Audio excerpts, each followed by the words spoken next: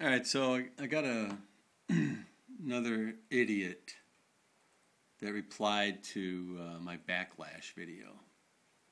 Um, the username is IC1101, which I guess it's 13 binary. I don't know if that's what that means, but IC13 could be.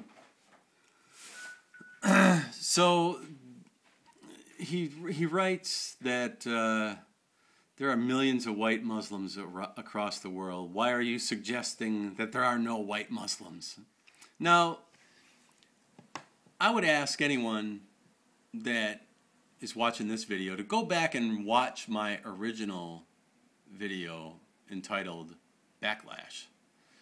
And you tell me what kind of special fucking idiot you have to be to believe that I was suggesting that there was no such thing as a white Muslim.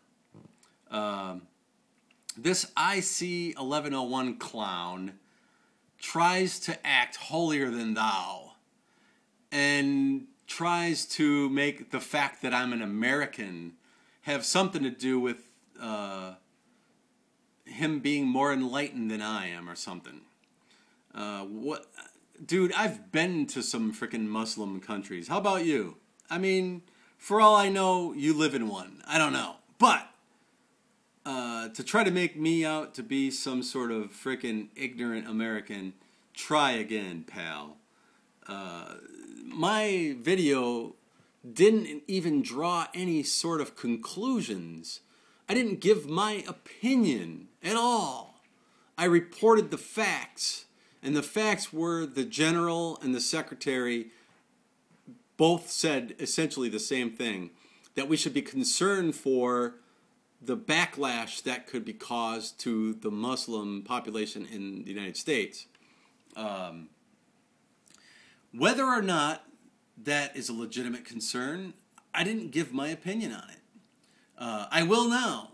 Obviously, it's a freaking legitimate concern. But the the other thing that I did in my video was ask a simple question. I said, let's take two different groups of people. Let's not take uh, a, a Muslim soldier and other soldiers. Let's take a white guy and some black guys and see if the person that did the murdering, if people of like, you know, the, the group that he belongs to, and I just used the race of the group, I could easily have used another religious group uh, and asked the same question.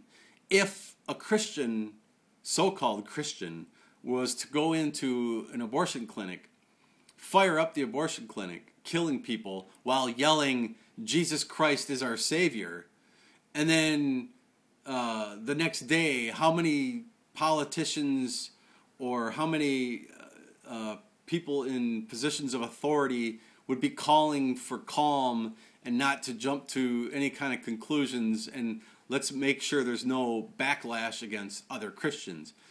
I don't know that that would happen. I don't think it would. I think it would probably be more likely that there would be a call for uh, enhanced security on the abortion clinics, lest there be some copycat killers out there. So, uh, anyways, I think people ought to ridicule IC1101 because he or she is an idiot.